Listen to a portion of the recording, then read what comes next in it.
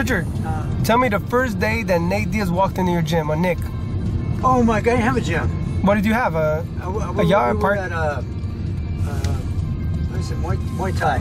uh huh. Or Taekwondo, I'm sorry, Taekwondo. Yeah. And upstairs was Jiu-Jitsu and boxing. And it was really small. It was probably, mm, I'd say 20 by 20, Okay. you know, and uh, they were up there, and I was with Rodney Jones, trained Rodney Jones up there. Because Ronnie Jones owned, he knew the owner, and the owner would let him go up there and hit the bag. Yeah, he used to be a fighter. He- Okay. Pro boxer. Yeah, pro uh, 37 and 5. Oh. Yeah, with uh, how many knockouts? Oh, gosh, 20 something knockouts. Oh, so you I was just watching his fights on YouTube. Yeah, Good. he, he used to fight right-handed, and I switched him to left-handed because he's natural left-handed. Wow. He started knocking people out. smart, good move. Yeah, he didn't want to do it though. So of him- course, fighters are stubborn. made him so, do it, man. so you're in the gym getting with him, and then what happens? You're upstairs, you're training. Yeah, and then uh, Nick Diaz and Nathan was there. They were in there. and They kept saying, hey, How old were they? 15 and 16? Okay. Hey, uh, can we shoot the horse horsepower with him? I said, no, you can't, man. You guys, you guys don't have no experience. Hey, we spot watch. Gatorade, So they would call me it to. Rich, I'm gonna spar this guy. liming, there get in there and throw and say, how we do? Key so you got to throw the jab more. You got to tell me what to do. something like that. And they were all excited, man. They kept asking me all the time, know where's all Phil kinds of Farmer, fucking Jones? And uh, I think Dick, Dick was uh, 17. Uh uh, I let him go in there with, with Rodney, and Rodney worked with him. And then uh, he, Rodney said, "This guy is hard, man. I gotta hit him." he said, "It was good, good sparring, boy. He did good." And then I started working with Nick, and then I started working with Nathan later on. But I'd give him pointers or something. Really Yeah. work physically was probably about a year later. Yeah. And that was it, and they never left. And they never left. They, Nick Nixon one that asked me to train him first, and then Nathan would be bugging me.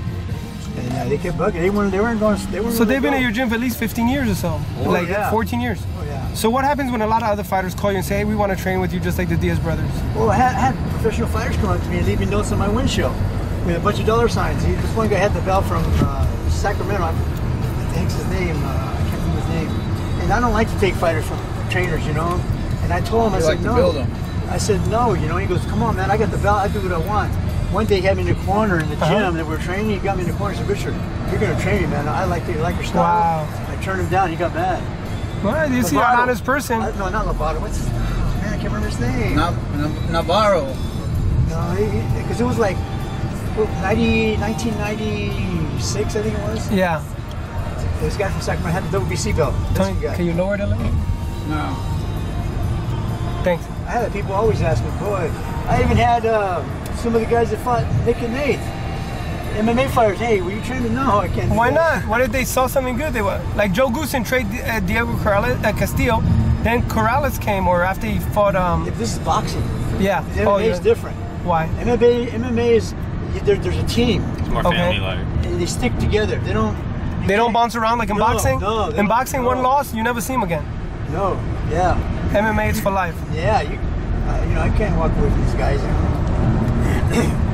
Well, usually, like beautiful girls would leave you. notes on people's cars, not fighters. What's that? I say usually, like beautiful women will leave a note on your car. More like a guy will leave a note on a beautiful woman's car. beautiful women don't reach out that far. I just go. They know it their comes to them. I just go through their internet private messages. Oh, that's the way you do Yeah, it. you slide in on the. DM. It goes Yeah. down in the DM. He slides That's in how on it goes Tony, down. Tony's the DM man. So, Richard, boxing's not an easy sport. MMA's tough. You have to learn five disciplines. You're like the main coach right now here. How does that all work? You're the boxing guy, but you're working with MMA superstars. How does it work? Yeah, I just I do the boxing. and they do the MMA. You don't get involved in the jiu-jitsu. Well, well, sometimes I'm there, but I don't I don't jump in and say, hey, do this, do that. You know, I don't. I let like Randy or somebody else do it. Are you an expert in MMA? I'm not an expert in MMA. You've been around it many years. I'm just a pro, I'm a boxer coach, and uh, I do stand-up boxing. That's it. I, I mean, I don't want to get involved and say because I don't know uh, jiu-jitsu. You know, I, I, I don't know kickboxing. I just know boxing. I know you got to throw and kick. I know that when somebody's kicking him, I'll tell him check it. You know, I know that part. But when you get on the ground, uh, I, I, I stay out of it. Let the other guys say. Did you know there'll be superstars the day they walked in the gym? You knew they were something special. I knew something was going to happen because those guys weren't scared to fight anybody. Mm. They were they were sparring with heavyweights. yeah. And what happened when they sparred heavyweights? He was like Nate, Nate was probably like 140 pounds. Wow. Nick 140 pounds. They're- they're- How did, how did they do? they did? They beat him up. They beat up the heavyweights. They beat up the heavyweights. I'm serious. I believe you. They I'm would, not they would punch just- him, hit him. Boy, they, they were where they going, it's right. They're probably going to the store. Yeah, probably get coffee. Nathan sparred with this guy one time. He was 165 pounds, and he was fighting pro. Yeah, they are Uh-huh. going to get He was getting ready for a fight. And he asked Nathan to spar with him. Nathan sparred with him. And I was in the corner and I told Nathan I was the corner of Nathan. Oh man, he whipped that boy in two rounds. Busted Wow. his nose up, quit. He didn't fight. Did you invent the Stockton slap? No.